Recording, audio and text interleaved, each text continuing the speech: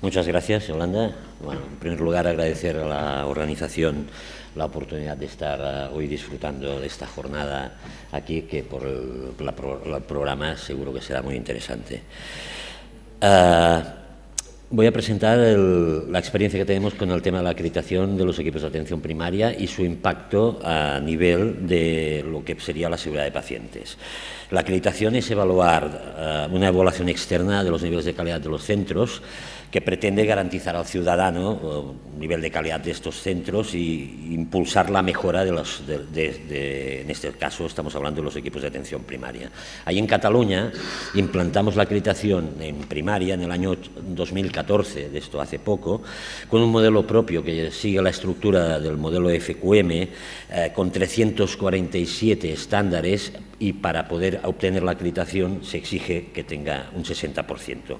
La tenemos prevista realizar con una periodicidad de cada cuatro años y un elemento que pensamos que es relevante es que para poder estar contratado por el Servicio Catalán Esto lo exigiremos a partir de julio de 2017, que es cuando eh, tenemos previsto que tengamos todos los equipos de primaria acreditados. El proceso de acreditación, pues hay una fase de autoevaluación, una evaluación externa y luego uh, pasa por un comité de acreditación que otorga esta certificación de la acreditación. Esto uh, es fruto, aunque lo implantamos en el 2014, es fruto de toda una estrategia que empezamos en el año 2010 uh, y que en estas uh, diferentes legislaturas, que hay en Cataluña, como sabéis, cambiamos mucho de legislatura, pues en estas últimas tres legislaturas pues ha habido como mínimo eh, una estrategia sólida y que hemos ido implantando tanto la estrategia de seguridad de pacientes como el tema de la acreditación. Esto lo hemos materializado desde el 2010, como decíamos, primero elaborando el modelo de acreditación, luego un plan estratégico en primaria que se basaba en estas unidades de gestión de riesgo, unidades funcionales de seguridad de pacientes en primaria, y identificar dentro del modelo de acreditación un modelo que fuera de seguridad de pacientes,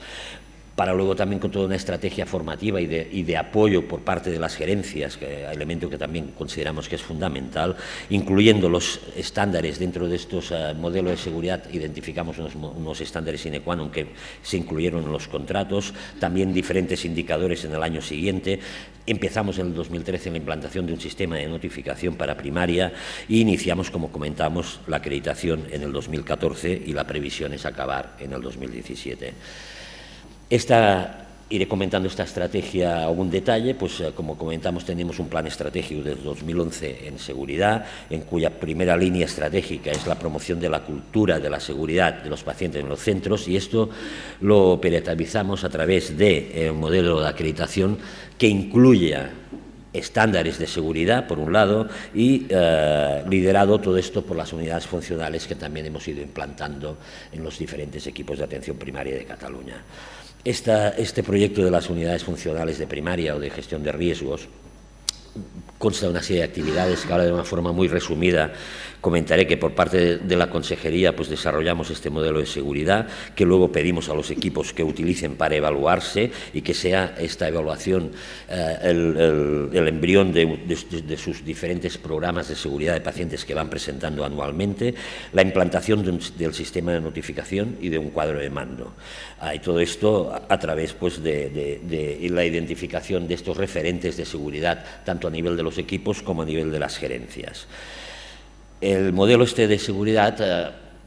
es, forma parte del modelo de acreditación, es decir, de los 347 estándares uh, de, de, para acreditarse un equipo de atención primaria, les pedimos a un grupo de expertos que identificaran aquellos que consideraran que tenían alguna relación con la seguridad del paciente. De este, de este modo se identificaron 185 estándares que, forman parte del modelo de acreditación, pero que eh, podemos analizar separadamente y que, eh, si bien hasta el 2014 no se empezó con el modelo de acreditación, previamente los equipos ya fueron trabajando. Y así como la calidad es un concepto más etéreo que cuesta más de vender por parte de los que nos dedicamos a predicar desde servicios centrales, la seguridad de los pacientes sí que realmente es un concepto que por parte de los profesionales es uh, más fácilmente aceptable. De estos 185 estándares, además, identificamos aquellos que considerábamos eh, que de obligado cumplimiento a los que denominamos sine qua non, que fueron 30 y que, eh, que en estos años hemos ido también monitorizando. No entraremos ahora a analizar los contenidos del modelo de seguridad, como comentábamos, sigue la estructura del modelo FQM, con cinco de, eh, de agentes o facilitadores y cuatro resultados. A modo de ejemplo de algunos de los estándares, he puesto la lista en tres diapositivas de los estándares sine qua non, en la que tendríamos aspectos aspectos como la formación en RCP, en, uso de, equipamientos, plan de acogida profesional a nuevos profesionales, la comunicación interna en situaciones de urgencia, medidas de protección de la precipitación, circuitos de diagnóstico rápido ah, para neoplasias, revisión del carro de paros, ah, disponibilidad de medicamentos en situación de urgencias, abordaje de las emergencias médicas, especialmente las cardiorrespiratorias, aspectos de continuidad entre primaria y urgencias y primaria y otros especialistas, etcétera el programa para disminuir riesgo de infecciones, todos aquellos aspectos que tienen que ver con la gestión segura del medicamento, control de stocks, de caducidad, cadena frío, el, disponer de un plan de medicación para del, paciente y otros elementos que no entraremos ahora a detallarlos. Un elemento que también ha pensamos que es clave para implantar esta cultura de la seguridad es aquellos aspectos que tienen que ver pues, con el aprendizaje sobre eh, eventos adversos. Y como, comentábamos, empezamos el año 2013 y hemos ido progresivamente eh, incrementando este número de eh, notificaciones en primaria.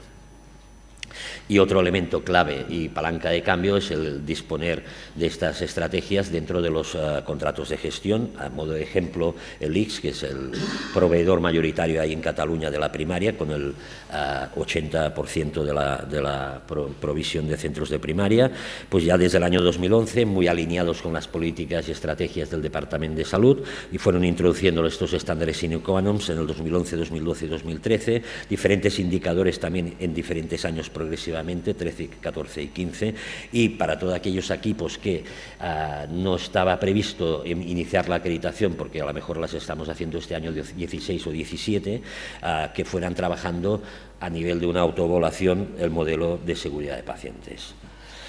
Y con toda esta estrategia que hemos conseguido, ¿de dónde partimos primero de todo? Hicimos diferentes pruebas piloto en su momento para a la hora de implantar el modelo de acreditación y el modelo de seguridad y en este caso pues sería la gráfica que en la que obtuvimos con una serie de equipos seleccionados y que probablemente eran de más calidad porque fueron los que levantaron el dedo para poder pasar por esta prueba piloto, la media del modelo de acreditación estaba en el, por encima del 70%. Del modelo este de seguridad de 185 estándares también hicimos un piloto en el año 2011 y podíamos decir que la media de puntuación de, en este modelo de seguridad estaba en el 63% y de los estándares sine qua non del 56%. Tan solo 18 equipos estaban por encima del aprobado, que lo consideramos en el, 6 sobre 10, y uh, tan solo un equipo cumplía con el completo de los 30 estándares sine qua non. Esto en el año 2016 ha pasado a ser del 100% de equipos que están por encima del 60% y que la gran mayoría, dos terceras partes, cumplen los estándares sine qua non. A modo de ejemplo también de mejora, pues como comentábamos, los sine qua non estaban en el 57% en el año 2011 y actualmente casi casi conseguimos la esfera en esta estrella radar de cumplimiento y estamos al 99% la mayoría de los equipos, como comentamos, dos terceras partes los cumplen todos, un 28% tienen uno de los estándares que no cumplen y tan solo llega al 8% de equipos que tienen dos o más estándares que no llegan a cumplir. Por otro lado, en cuanto a la puntuación global, en cuanto a la acreditación de los 347 estándares, hemos pasado del 71 al 93 y del modelo de seguridad del 63 al 95. Eh, los peores eh, estándares, los estándares peor puntuados, sin uh,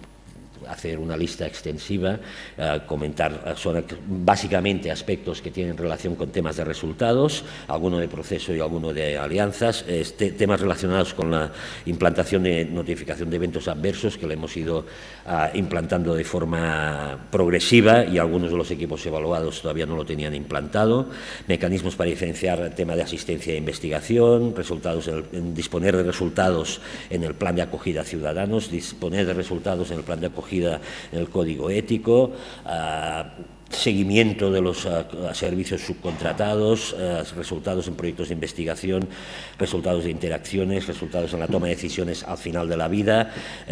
o en incidencias tanto en estudios analíticos como de radiodiagnóstico.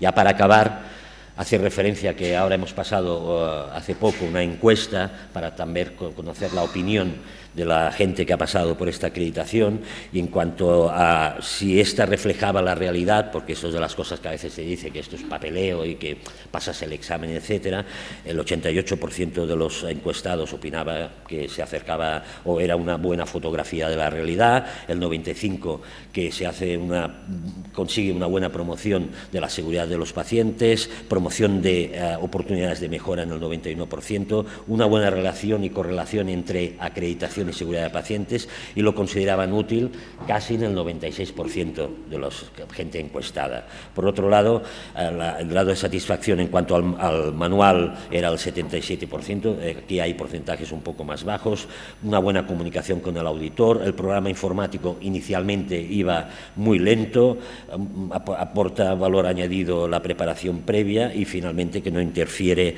ah, la visita a la auditoría. Como aspectos en las preguntas abiertas sobre la utilidad del proceso, que consideran, eh, he sacado alguna de las frases que se repetía más en la mayoría de los encuestados a las preguntas abiertas, impulso importantísimo para la calidad y la seguridad, ha significado un cambio cultural para identificar aspectos de mejora especialmente en seguridad de los pacientes, nos ha servido para ordenarnos, para tener protocolos, procedimientos, para institucionalizar todos estos papeles que luego nadie eh, se había puesto de acuerdo y básicamente mucha gente transmitía que esto nos ha dado una oportunidad para trabajar en equipo.